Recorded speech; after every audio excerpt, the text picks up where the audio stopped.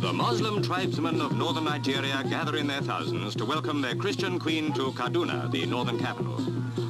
From every part of their quarter of a million square miles of territory they have come to greet her. On horseback, by train, on foot, by canoe. Some have been traveling for weeks from the shores of Lake Chad, from the banks of the Niger, from the fringes of the Sahara Desert. Down the long lane of tribal warriors, the Queen and her husband drive to the Durbar ground to witness a ceremony which was already old when the Tudors ruled in Britain. As the royal car moves forward, the horsemen close in to form a steadily growing cavalcade. Near the royal dais are the chiefs with their retinues, leaders of many different tribes with a bewildering variety of traditions and cultures. For though this is the most primitive part of Nigeria, it is by far the most colourful and diverse. A proud people, slightly contemptuous of the southerners with their cities and their newfangled ways. An ancient people who know how to welcome a queen. Her Majesty's car enters the arena. Every yard of the way she passes strange costumes, exotic headgear, and some very surprising ceremonial equipment.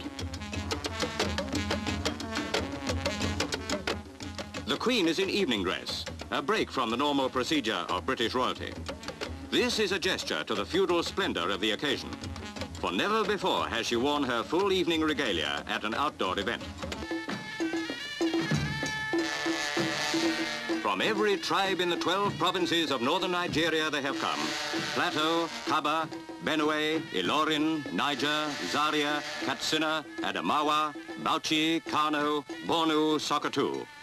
Tribes famous for their fighting men, heirs to the Hausa warriors and to the Fulani, that conquering race of horsemen who swept down from the north in centuries past.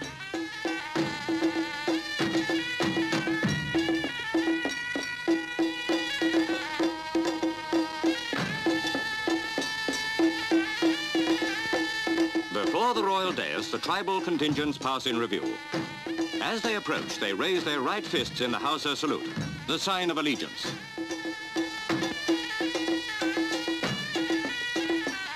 Each contingent has its own dancers, striving to outshine the others. It's a strange paradox that these northern tribes, so proudly independent, are for that very reason cautious about accepting self-government too hastily.